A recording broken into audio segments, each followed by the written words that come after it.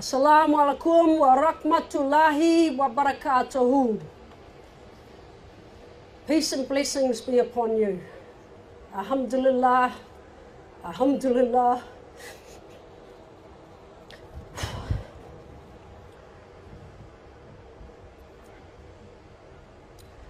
Rabbil Alameen, wassalatu wassalamu Allah, ashrafil umbaya wal muslim. Sayyidina Muhammadu wa Allah, alihi wa sahabahi ajmain. Wa ma alayna illa balagul mubin.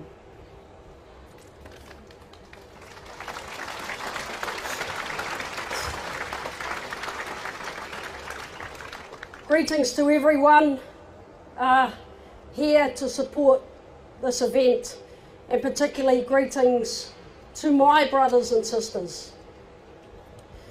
I am a proud Muslim and a leader in the New Zealand Police.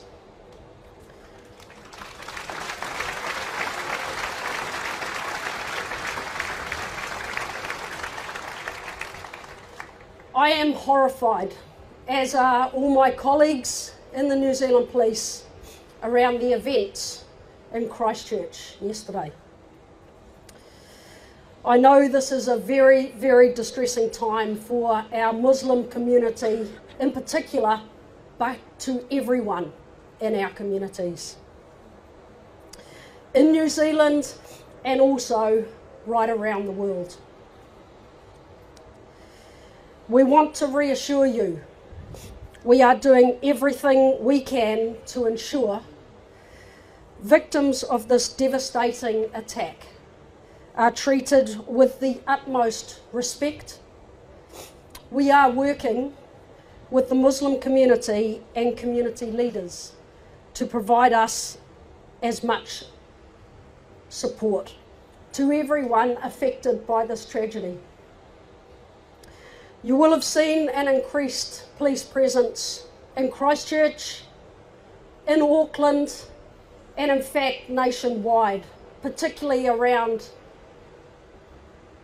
our mosques and Islamic centres. This is a precautionary measure to ensure the safety of not only our brothers and sisters, but for our communities all around New Zealand. I wish to reiterate the message if you see anything at all suspicious, please call 111. Do not hesitate.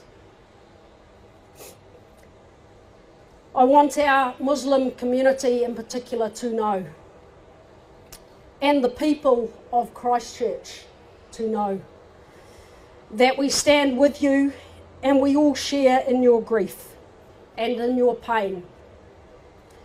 We, the New Zealand Police, will do everything we can to support our wider community and, in particular, our Muslim communities. Inshallah.